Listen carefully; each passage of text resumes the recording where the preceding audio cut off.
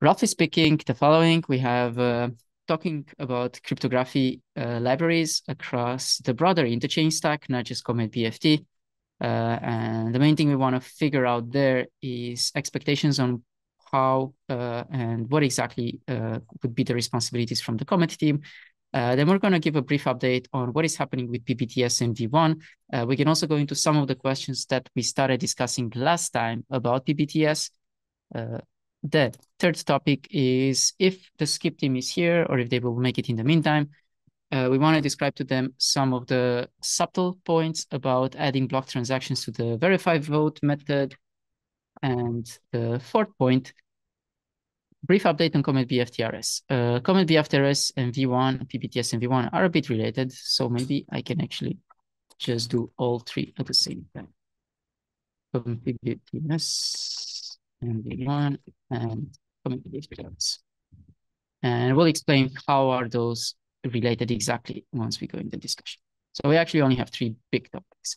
Uh, for crypto libraries, who would like to take the lead on this? Ezekiel, can you give a brief context on uh, what is the initiative about and maybe help Yeah, us? sure. Thanks. Um, I have a few slides. If you want, I can Oh, show. that Um, would be great. Yep. yeah, um, it's gonna be uh, really quick because um, so we don't get much into the code. I think it's not necessary of the because of the co scope of this code, but I can show you like the goals and and why we want to do this. Uh, okay, let me share uh, screen. Um, let me check it. I think I have a permissions issue. I don't usually use Zoom, so um,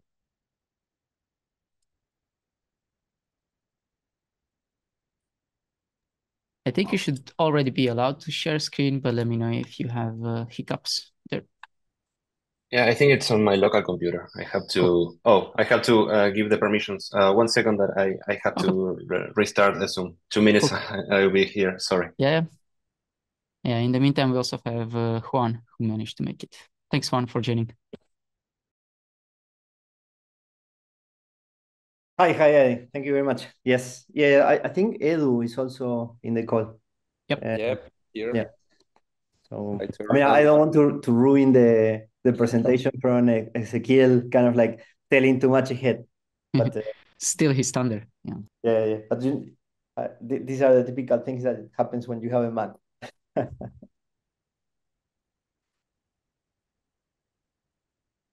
There we are with this.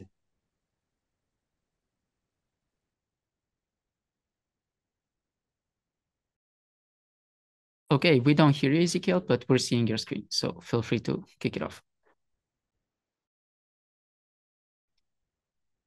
Yeah, sorry. Now I was uh, muted and blinded. Uh, okay. I think it's going to a slideshow. Yep. Okay. Um, so actually, uh, this idea of this project was born for applying applying uh, to the SDK. Uh, but uh, spoiler alert, we also saw that it's also can be applicable uh, to the Comet BFT. Um, and also by suggestion of Marco, uh, he's also uh, found it like it, it's gonna be useful on the on the consensus uh, code. So um, uh, the goals uh, mainly are to decouple and actually have a, a purely modular crypto library. So we want to decouple the the, the core logics uh, of the cryptographic tools from the um, let's say at the utility level or the or the at the tool level, like the SDK and the and the Comet BFT uses. So also we want to uh, allow for new extens extensibility points to allow innovation because today it's very hard to add, add like a, for example a new curve or add a new hasher. Um, you have like um, a very tight, a very coupled code. So if you want to add a new curve or anything, you have um, you end up like most people do, forking the entire SDK, for example, and doing your modifications there. But that doesn't sound very modular, and also um, the developer experience might be broken in there. Um, and may, and also it doesn't uh, it's not compatible with the uh, with um, uh, the community uh, being engaged with the project and and giving um, um, participating adding new new stuff right? Um, so it's like the the project it gets forked and it's it's in a repo over there and nobody knows.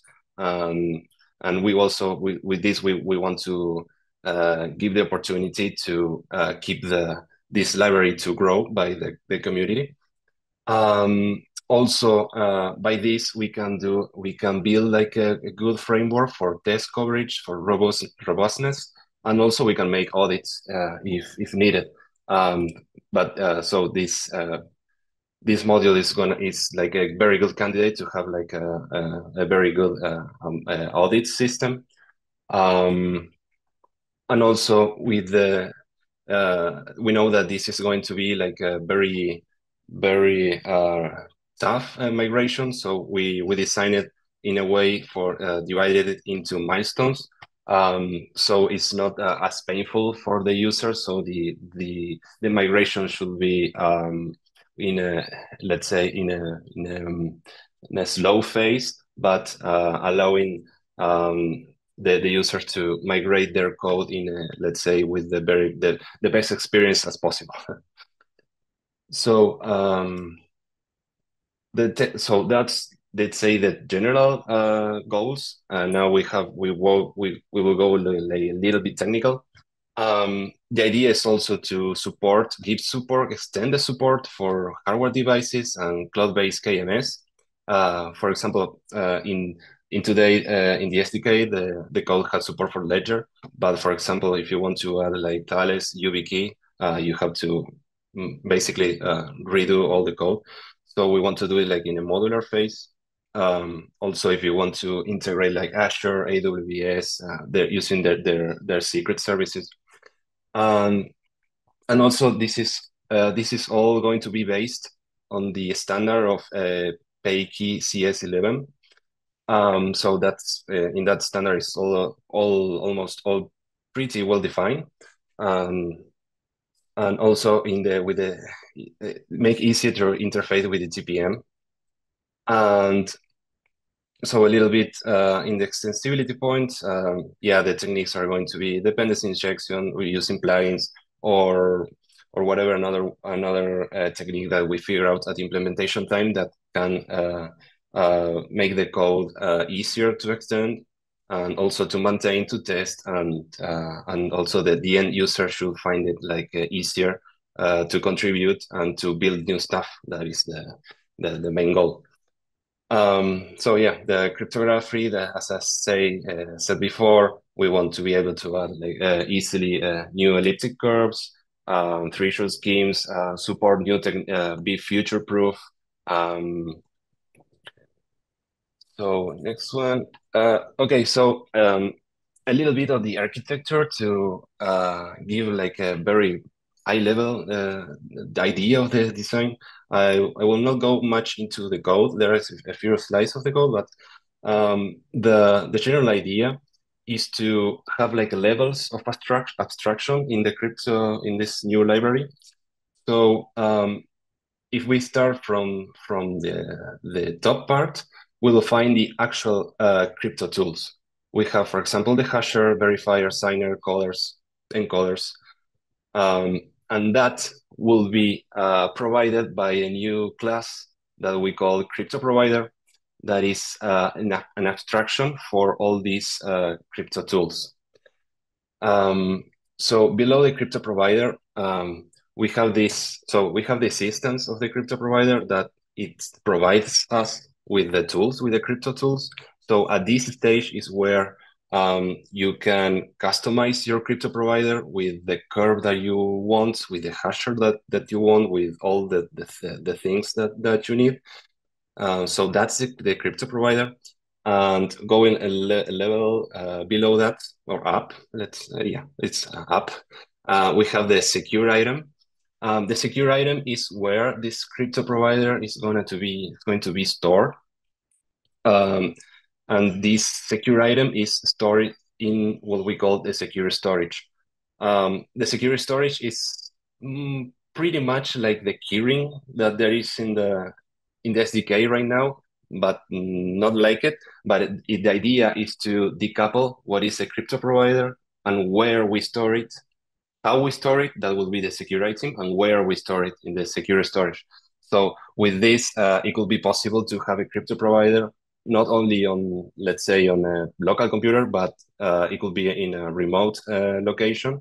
And also could be another blockchain that acts acts as a secure storage.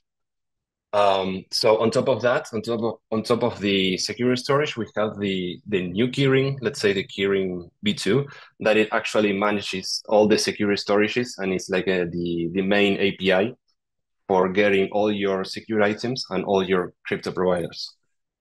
So um, a, a, a, small note on the keyring and on the wallet. Um, there is one important thing uh, to uh, divide um, the, the, the keyring and all the items below are using um, public keys, but they're the raw public keys without any address formatting at all. So that's why the wallet, the wallet is like a, uh, it's also will be an API for the keyring, but uh, it there is where you will add your logic for converting the, the public keys to actually the to the proper address. So uh, having that uh, having that breakdown at that specific level, I think it's uh, we think this is, is going to be uh, very useful. So we don't have uh, mix we don't mix addresses with public keys on on all the the levels of the code. Um, okay, so yeah, so a, little bit about each one. I, I, think I already said everything about them.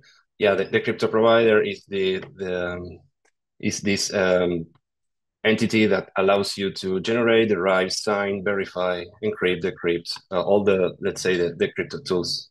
Uh, it will be like the Swiss knife that you open what you want and you get the, your your job done. Um, yeah, uh, this is a little bit of the code, but I, I won't uh, be too much into it because uh, it's out of scope.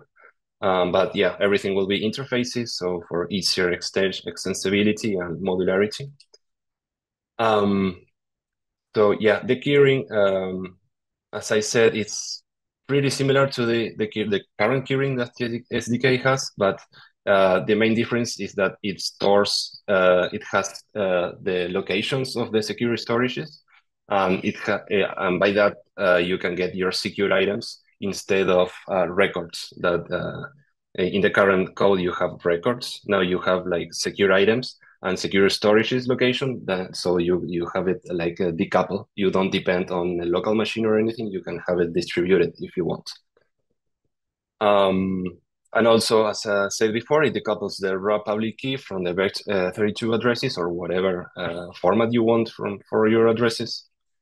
Um, and also it acts like uh, for a router, a router for all the the different uh, crypto providers that we well, that you can have all uh, every type of crypto provider you, that you want. Uh, yeah, a little bit of the code. Scope.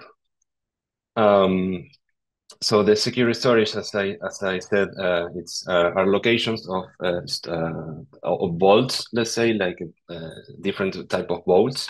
Um, so a vault can be um, uh, pre pretty much what the keyring supports now. Like you can have like a vault in memory for doing quick theft. you can have a keychain for Mac. Um, you can have um, for example, your uh, your ledger device, your um, no ledger, um, another secure storing hardware, a specific hardware device, um, they all they will all implement one uh, one interface that will be the secure storage interface, and then the driver. Uh, that's where uh, the the developers will implement and and they can give support to any type of storage. So uh, this secure storage stores secure items um, these secure items, in short, they are a serialized version of the crypto provider.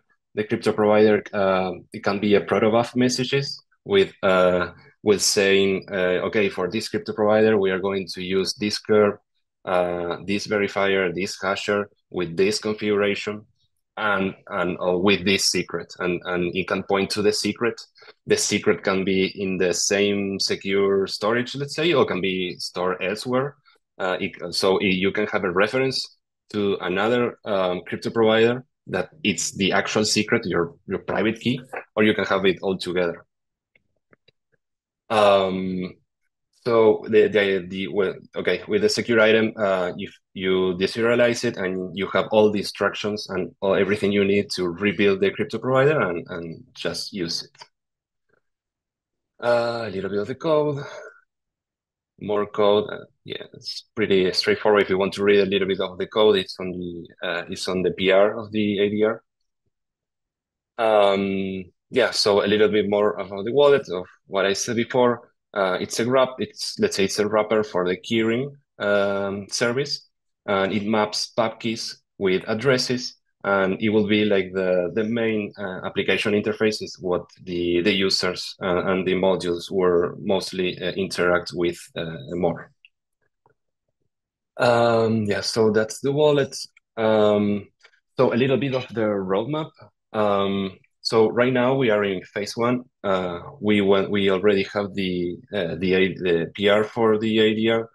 Um, so uh, we were uh, like reviewing it um, uh, until a few days ago.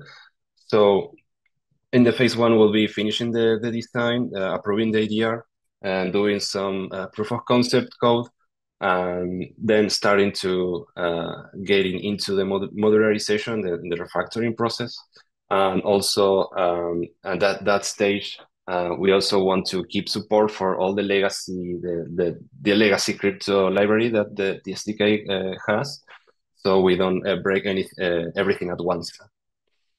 And in the phase two, uh, there is the extensibility and the enhancement part that will be adding new stuff. So the phase one will be like preparing everything, preparing the, the framework uh, that uh, that will support what the curves and all the crypto tools that we have now. And in, in then in phase two, um, it will also uh, we can do like ex, um, add new uh, new support for new hardwares, adding new curves or whatever, whatever is needed. And also the community can be engaged in this uh, this part because uh, we want also people to implement new stuff and build the, the new plugins and, and uh, any crypto tool that they want. Um, so yeah, that's pretty much it. I, I know I went a little bit uh, fast, but yeah, I'm we are open to uh, questions if you have. Thanks, Ezekiel. So just just want to add on from my, my side, it'd be like I, I think it's really worth aligning the SDK and Comet cryptography libraries. Um, we've had like we did it at one point and then we differentiated, and now we kind of have this like weird limbo that we both implement different cryptographies and different curves um, for different purposes, and they don't really share in, uh, aligned interfaces. So if like Comet wanted to implement something new, it's like they do their own interface, and it's like in the future we have to do it um, for whatever whatever purposes. So like aligning our cryptography stories. And I think the main thing out of like the crypto v2 that I think is most useful for um, for Comet is mainly like the the interfaces, like the hasher interface, the verifying interface, and, and stuff like that. Um, maybe less so like related to the keyring. Yeah, I was gonna start just with that because at the very crude level, there's like two surfaces of crypto libraries, the one in SDK and the one in Comet, and they don't intersect in that many places. But if there is a, such a overlap or intersection, I guess there is, uh, you're suggesting that with this uh, revamping effort in the SDK, we might as well also uh, use from Comet side some of the work that you guys are doing. Is there like the highest level understanding of what this entails? That we would just reuse I think the interface. Yeah, we I jump in and Ezequiel, you, you can add like more. Sorry. Um, is is that the idea is that the keyring probably is not applicable, but everything that is called crypto provider and below it will be because then you can add, for example, access to TPM or remote signers. I mean, right now that there is a single remote signer that is like through through this like a TCP or UDP. I, I cannot remember exactly. I did that like long time ago uh, for for a signatory, but but in the end, it's like all these things we we can like abstract them away, and anyone that wants to, for example, integrate something natively or or improve the curves or or change anything inside Comet, um, we have a, an abstraction for public keys for for kind of like asymmetric signatures and and everything is decoupled. So then you can extend that through crypto providers in any way. Probably uh, as as you were like saying, and the same as Marco was saying. I mean, there are some some points where uh, there is a lot of opportunities for reuse. There is other, like for example, wallet that maybe you you okay, but you don't care, but that's that's a kind of like much higher layer.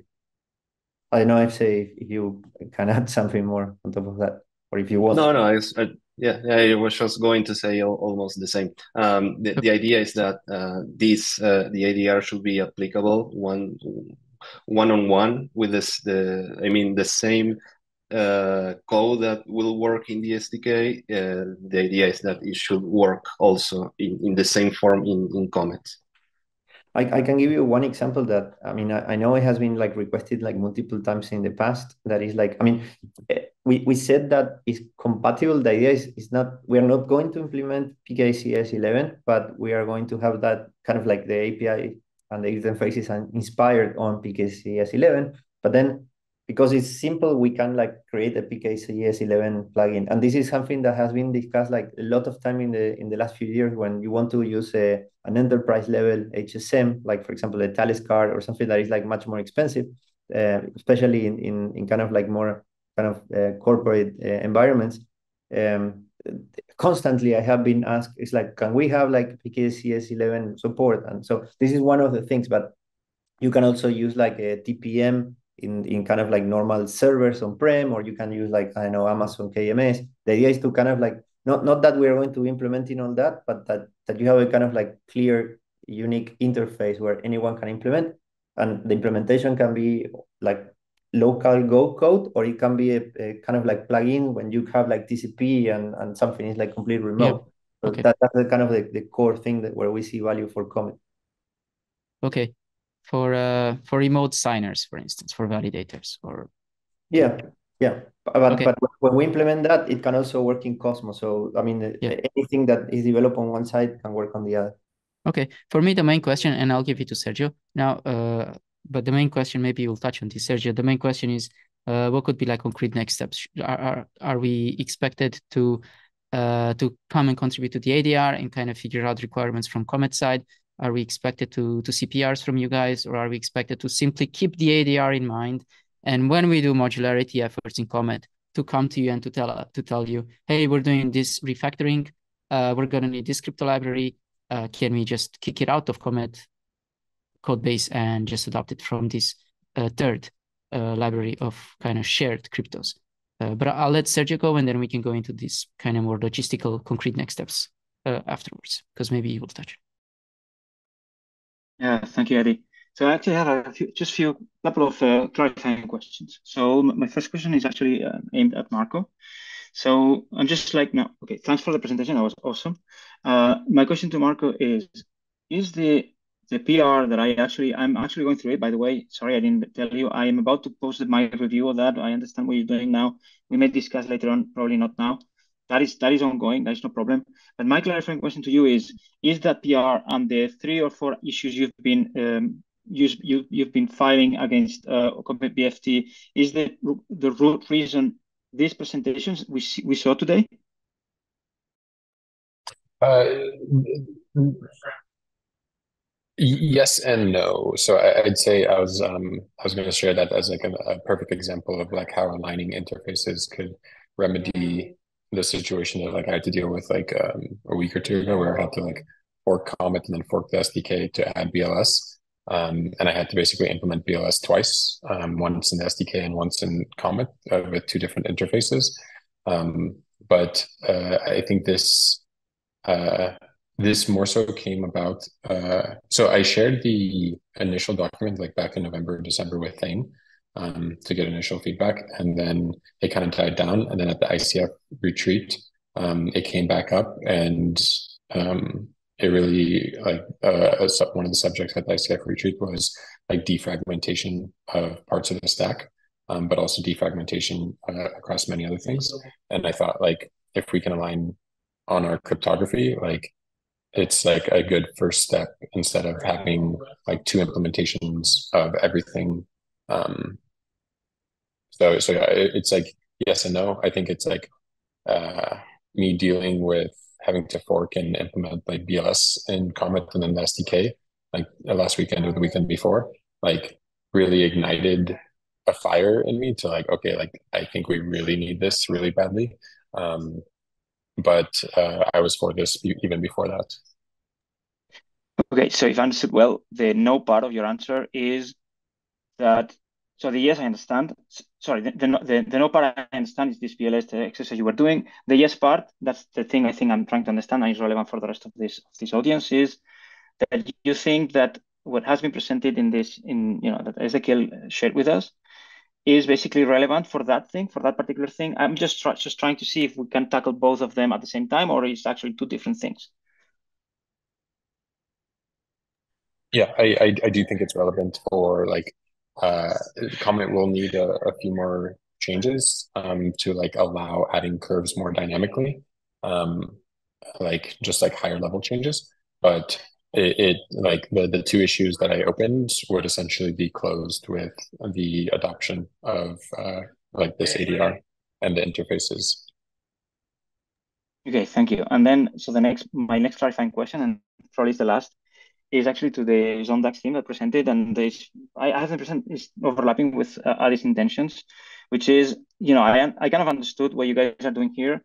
What I would like to better understand is what are the points where it actually matches, you know, meets Comet, and what in concrete, like I don't know that we're not gonna come up with a design today, but just at least just have an idea, you know, like what it is it that you know the part relevant part of your presentation to us and and have uh, preliminary ideas discussed. But I think that joins uh, Adi's proposal of uh, discussing next steps, so maybe we can go with that. Yeah, I, I can I can give you one part of the answer. Maybe I can complement this. Um, I mean, the the main points that are going to kind of like affect Comet are the abstraction behind uh, behind like public keys, private keys, signers, and verifiers. Uh, it might affect a bit uh, if we want to have like secure storage, um, the the parts where we encrypt and decrypt. But in general, it's going to be mostly about like um, asymmetric encryption, uh, asymmetric signatures.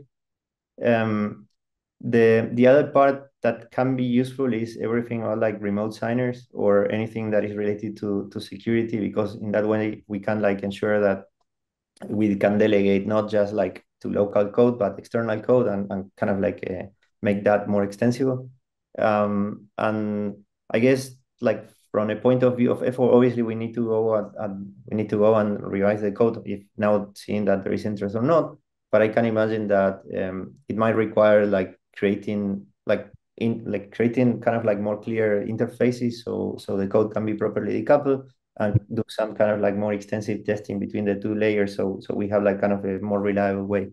Um it might help also uh, in general like the, the overall security. So when you have like a, um, so for example you have like things like horcrux that are used by a lot of people uh, it would be very easy to kind of like create a plugin that horcrux can integrate more more kind of like easily or you can use like different ways of like kind of like running these and at the same time it might facilitate because eventually you might want to do something where or even kind of like the whole thing about like how validators operate like for example double signing uh, protection or things like that can be kind of like delegated like similar to what it was done in the very early days when when to be honest it, it, was more like a hack than a kind of like a clean implementation because of the structure. And I can imagine that has been like kind of like rolling and rolling and growing. But when when you have like remote signers for Ledger or or, or on signatory, it was already kind of like not so easy to plug that in. And then you have like a lot of kind of like complex code for like kind of connecting out and all these kind of like special code that can be now decoupled through clean interfaces and all these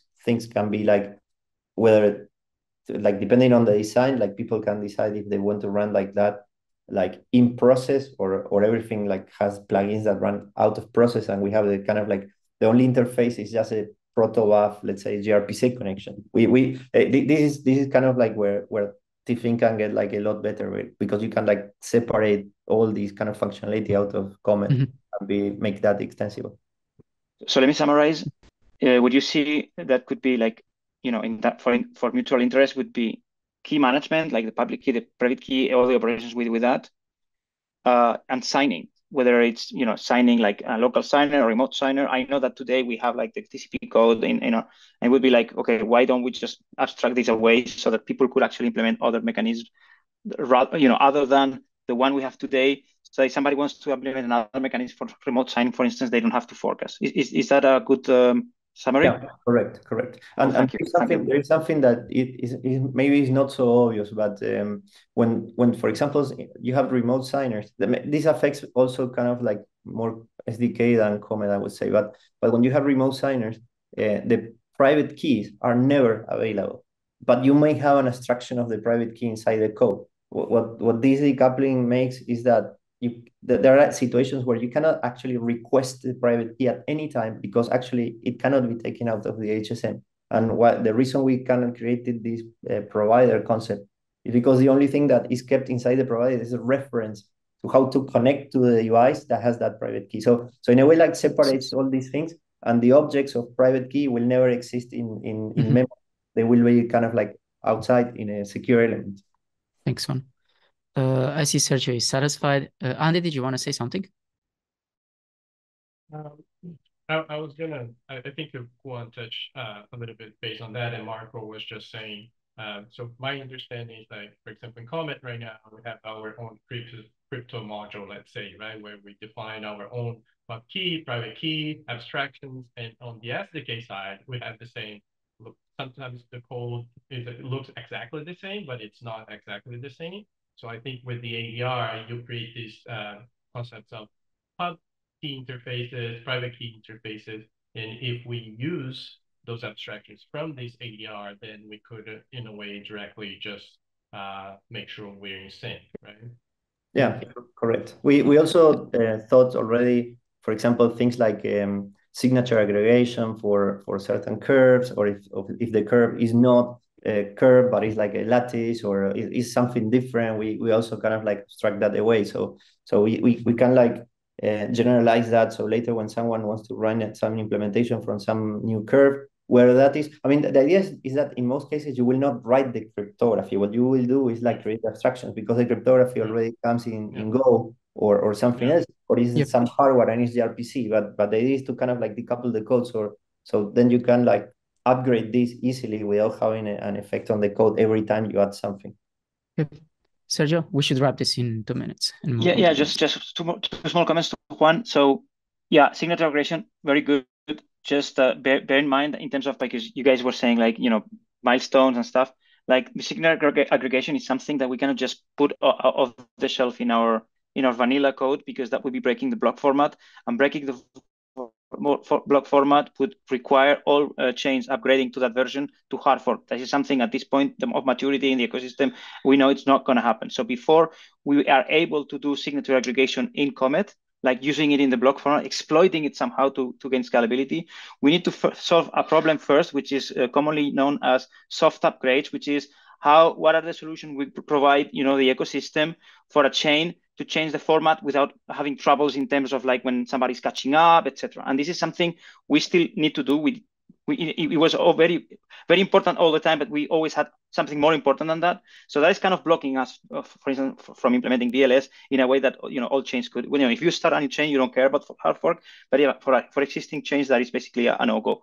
And there was another, ah, yeah, uh, from Ezequiel, the the um, he said at the beginning he mentioned hashing. Hashing is a little bit similar. So I understand that I understand the value of you know putting hashing out of you know out of us, but again, the, you know the way I understand our own code, hashing is kind of all over the place.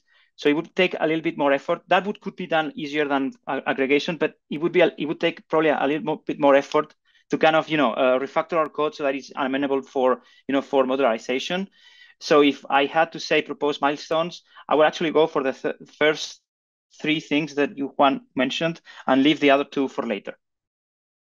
Yeah, aggregation is, is on the interface. You don't need to use it. So, I mean, we will provide that. And maybe, I mean, imagine that you have a Boolean that says this allowed aggregation, then in your code, you call it. If not, you don't call it. So that, that's not a problem. With hashing, it's a bit more complicated, but uh, maybe it's not in the scope of the code. but uh, some devices need to hash inside the device. Like for example, a Ledger device, the hash is part of the device. So when you say sign, the hash happens on the device. Uh, and that that's why we try to extract that away and, and, and combine them. But uh, yeah, but this is something I, I don't think that these are going going to be kind of like big problems and and and we can like progressively add like a functionality. Uh, but obviously, this is something that that Ese and, and the team and, and me we need to kind of like go into the code and later make an assessment. I mean, this, this was a, um, from our side, and and I guess like from Marco perspective too, kind of an early uh, check with you to say, okay, should we look mm-hmm. at this or not? I mean, yeah. I think I think we're on board. Yeah, let's let's do it for, for concrete next steps on our side. I mean, until you guys merge the ADR and actually start the uh, the legwork with the with the new interfaces and introducing them, testing and all that. In the meantime, what we're gonna do in Comet is actually fix the the PRs and the issues that Sergio just mentioned earlier, the ones that Marco opened. Uh, so providing uh, smoother ability for chains to use different curves in Comet. That's super important for us. Uh, and that will easily take two three months until uh, until we land it. It will likely go in V 1.1, uh, and that's kind of like a big priority for us. and then once we have that, we could look at kind of iterating on the interfaces we're going to land there, so that we adopt some of the backends and the interfaces that you guys have. Okay, I, I, know, this is more for later, but does it make sense that that at some point we we plan? I mean, we you know our plan and proposal to you guys uh, that we help with the carving of the interfaces? Uh, Absolutely. Yeah. Okay. So, so we, could, we, we can collaborate on the same. Uh, we could already, yeah, if you want to already weigh in, like in the in the next month, on uh, on how we're how we're planning to introduce this new register API, so that the application registers to Comet the exact curve that he wants to use, the keepers, uh, the keeper types, and so on. Uh, I think that would already be useful. Kind of the earlier the better, but we also understand that it we can also do it iteratively. We can just land on like a initial solution that it's kind of hacky, and then you guys can come and uh, help us consolidate with the SDK. I think either way works, depending on your availability and time. You're muted. Sorry, answering oh. Andy's uh, question. So the interfaces are, are inside like Comet BFT, but uh, if you comply with the interface, the way you connect to the plugin, it depends on the implementation. So in general, yeah. what Ese was describing was more like a gRPC connection. So the plugin talks gRPC outside, and then Comet has this kind of like interface. So in the end, if you want to use Rust, you would be talking gRPC, and that's it. So it's something like what we, I don't know if you guys you guys are familiar with ABCI, our ABCI interface. I know it's a totally different uh, matter. Are you familiar with that? Yeah, yeah, yeah. In the end, in the end, it would be, be something like like, like different, like a TCP, gRPC, or even like you if you want to basically uh you know, as the SDK does, just link everything together because everything is in Go. Yeah, something like this. Um, yeah, and, and then the, the SDK has a few reference implementations for the normal cryptography that is being used today, and in the future, like other people will start like adding whatever they want and talk that common interface. Yeah, two, two more things, Adi. One last clarifying question I forgot before, uh, and then something. So the last clarifying question is like, it is very important for us that third parties would. So I, I understand that we have to align on interfaces, and and this kind of like the nature of that, like whether it's going to be local, gRPC, whatever. But it is very important for us that uh, you know third parties could easily come and say, okay, I just want to use my own code and I want to implement this interface against you know against Comet. Is that uh, would that kind of be feasible in your opinion? Uh, a new curve that I that you guys are not supporting, and some other you know some change say I want to support this. This is the you're talking about like cryptography what, what I want to have. Doing? Uh, like like uh, the yes. end result once we our collaboration yeah, yeah. I mean, basically, the, the plan is that we don't. I mean, later we can do that, and we can agree with Marco if, if, if it makes sense on the SDK or where. But initially, we're going to kind of like just do the interfaces and do a few reference implementations for the curves that are happening now. And then you can take that reference implementation and, and fill it up with anything you want. I mean, in the end, the, the hope is that we our interface is flexible enough for, for all those. So I think with Ese, the roadmap was to do uh, implementations of the most different ones, not not to go for all the I know elliptic curve because then it's like easy, but go like very strange, like okay, one elliptic curve, one some one KMS in the cloud, and one that is talking gRPC with something silly on the other side. So you have like the three classic cases, and then anyone else can come in and, and put what they want. just, just I, I see it's late, so I'll, I'll oh. keep. I'll keep. Then I, I won't say the last one. So thanks, Sergio. Marco. So, uh, so just quickly, since since we are aligned um, on this path forward, um, in the last working group with SA, we we discussed like okay, like if Comet's not aligned, we'll do it. We'll keep it in SDK. If Comet is aligned, then we can create a like crypto package in the Cosmos org. Uh, uh, sorry, not package. a crypto repository.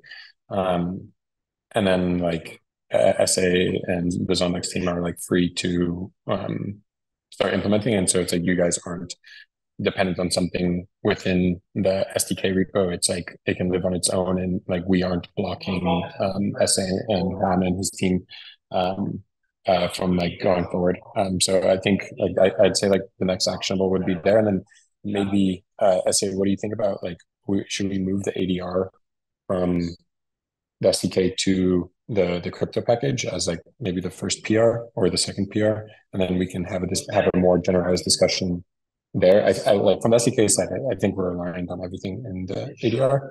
Um, so just anything that Sergio would like to Comet in the comment team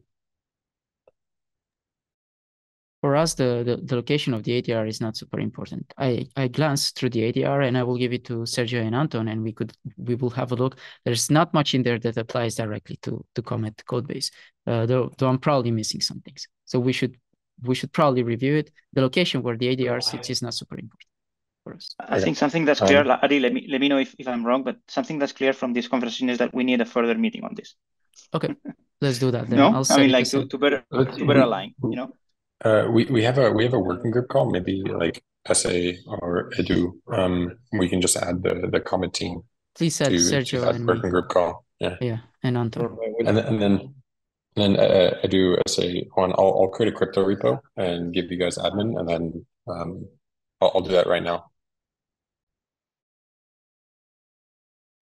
Okay. Yeah. Awesome. Yeah. I, I guess the the only thing I mean this is more administrative, but maybe we need to um tell ICF that there is a new repo, so they know that it's still kind of like within scope and, organize that. But yeah, that's perfect. Then uh, thanks, Sergio, for uh, holding the last question, and we'll we'll just uh, discuss it in the next conversation with the SDK and the Zondax team. So moving on, we were running out of time. I was uh, naively, as usual, hoping we are to finish before uh, before uh, 6 p.m. sharp, but uh, if anyone from the Skip team is here, the next most impo important topic on the agenda was uh, discussing with them and with the other teams interested uh, that uh, what they proposed was to add the data, the block transactions in the verified vote method. Is there anyone from Skip team? If not, we can just proceed to the last point, which is just an update. Or if anyone else in the call wants to know about adding block transactions to verify vote method, we can also just discuss it. I I would like to know. cool. Uh, was was suspecting that. Then uh, thanks, Bez. Uh, so yep. um, maybe I should let you talk, Sergio, because you it might be useful to just go into the technical details. Let's just give a brief overview on why it's, let's say, technically difficult. You want to take it, Sergio?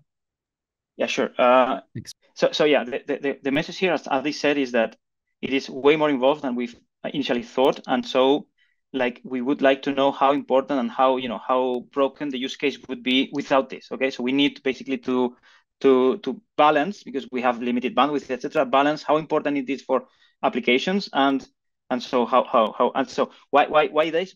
The thing is that when we added it to extend vote, that was a piece of cake because of the way the algorithm works the algorithm works in such a way that you are only extending votes. You are only going to vote, I mean, pre-commit if you want to, to be more, more precise. Once you have the block, you need to have the block. That's part of the algorithm. And therefore, in order to add it to the interface, it was a piece of cake because the you know the data was there. We just needed to you know refactor a couple of you know internal calls and stuff, and and we just basically provided the data. It was kind of like I don't know, 20 minutes of work. However, we looked uh, this week. We looked into this, uh, like Uh, doing, doing the symmetric thing for verifiable extension. And that's way more complicated. Why? Because verifiable extension is it can come at any time. Remember, this is a commit from some other process. So yeah, you know that the other process has the block, but it doesn't mean that you do have the uh, block as well. So if you don't have the block, you cannot produce the, you know, you cannot get the data that we are actually planning to add here. And so we have a big problem. Now, is it, it can be dissolved? Yes, it can be solved.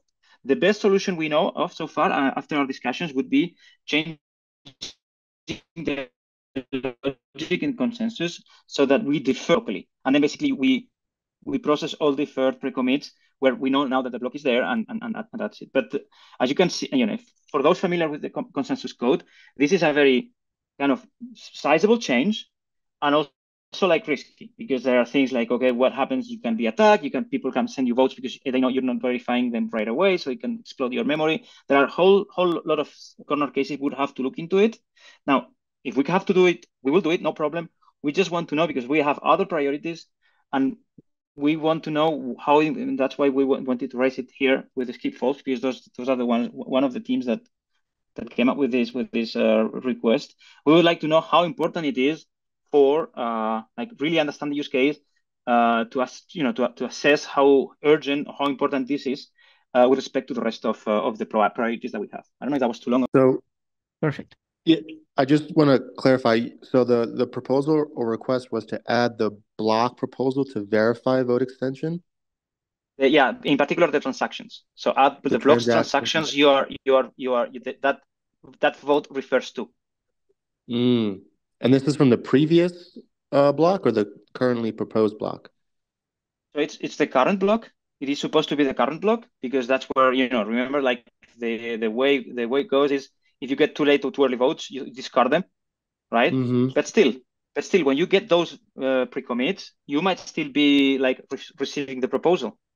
Mm-hmm. Because yeah, because the vote is from another node, so it's of course you know the the other node has the the, the, the block, but you might not have the block yet. So what do you do? You cannot. So the way the code is written today, of course, this was not thought for that, and so and so basically you, you have to you know you handle that uh, that uh, that vote and with the extension you're handling it on the spot you say okay uh, verify the extension please application okay verified okay so the vote counts let's let's let's just keep it in the you know the right structure and then when we receive the, the finally we receive the block if it happens for instance just an example that all the pre-commits are already there you find out you you move directly to a decision you don't need you know and so that's the way it works today but uh, yeah uh, the fact that we have you know if we need if we need to to to make that data available at verifiable section time, that means that ha we have to modify the core logic of consensus.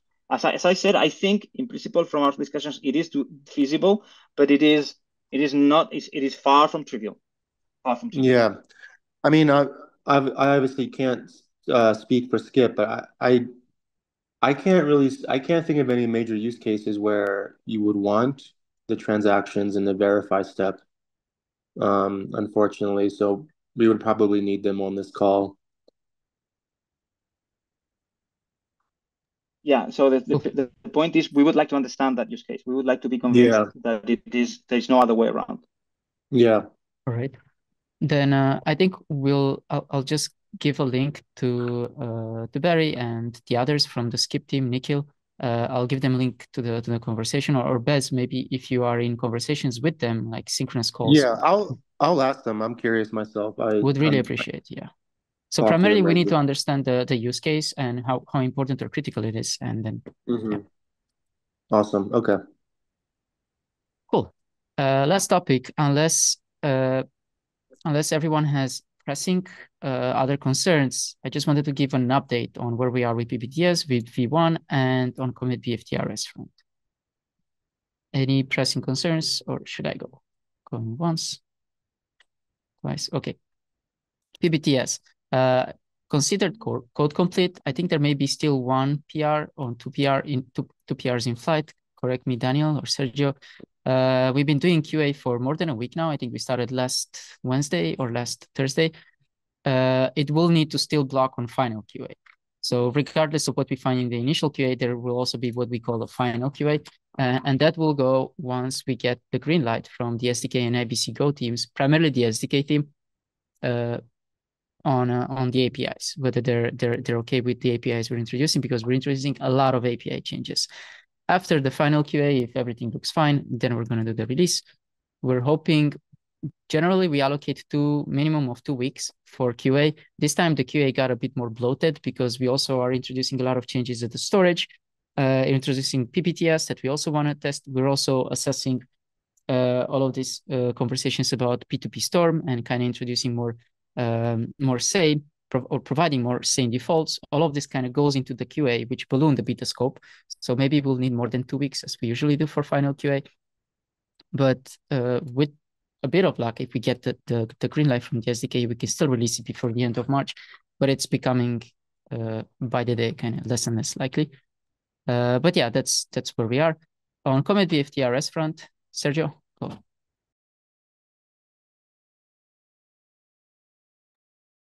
You're either muted or we can't hear you, Sergio. I'm sorry, I'm sorry, I was muted. So yeah, I was saying like since Alex is here and Marco was there, you can maybe watch the recording, keep us honest. If it's, you know, what, what I'm going to say is like, remember that our, our agreement with the SDK is such that we actually are going to cut an, a release candidate. We, we, we, we usually don't cut our final release until the SDK cut their release candidate just to make sure, you know, that everything works, that, you know, there are no last minute changes that basically if we released already, like are too late, they are too late to, to release. Okay. So just wanted to clarify on that. So, so the goal here is to reach uh, release candidate status to allow uh, the SDK reach release candidate mm. because then at that point for us it's just like a matter of, of 20 minutes to cut the final release and this gives the, the SDK an opportunity a last minute opportunity to say hey wait a minute this is broken let's basically fix it if you have already released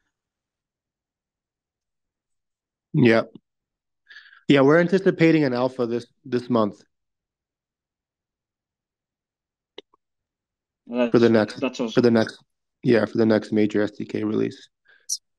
So the the alpha will allow us to start the QA, and then mm-hmm. once you once the SDK cuts the the release candidate, then we're gonna do our final. Supposing we finish. But yeah. yeah. Uh, just quick question. I I wasn't on the uh, original call where this PB uh, was discussed. Is there are there any kind of configuration parameters or on-chain parameters that require or, or facilitate the usage or enablement of this feature, or is it kind of just yes automatically? Yes, supported? Lauren. Yes, yes, Alex. Lauren from our team opened uh, an issue on SDK, and she she I think she followed up with some of you to make you aware mm-hmm. of that. So there are three three oh, new parameters in consensus. Oh, right. There's the yes, I remember. Yeah, like there's the um, right. Okay, yeah, I, I recall. Those are on-chain parameters. Yeah. Consensus parameter. Okay. Great. That was my only question. Thanks.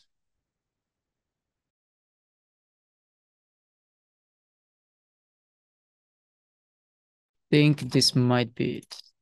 Uh, if I, re yes, refactor enable feature params and PBTS fields.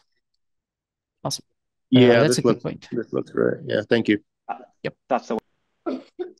All right, final two minutes of the call, and then uh, maybe I even finish before the two minutes. So Comet BFTRS, uh, this is one of the last things that we wanted to do as transitioning uh, out of the Tendermint, uh, let's say namespace. Uh, we're still testing and validating against IBC clients and relayers. So Comet BFTRS is mostly a client library, and it's mostly useful for Rust-based appchains, Rust-based client libraries, Rust-based uh, integration points like the relayers. Uh, we have been able to find a workaround. This was like a blocker on upgrading the protos. And I think we did find the workaround in the meantime.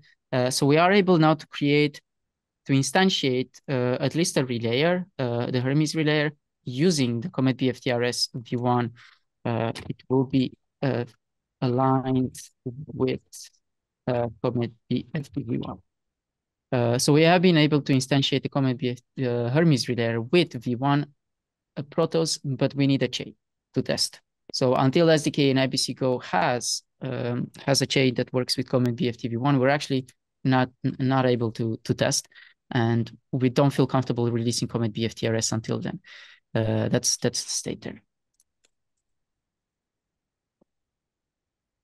Glad to follow up on this topic in a lot more detail if anyone has concerns about it. Otherwise, that was it.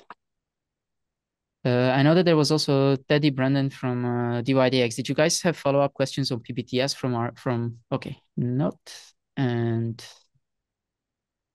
anyone else? Nick, Uh, anything from your side? Otherwise, let's wrap it up.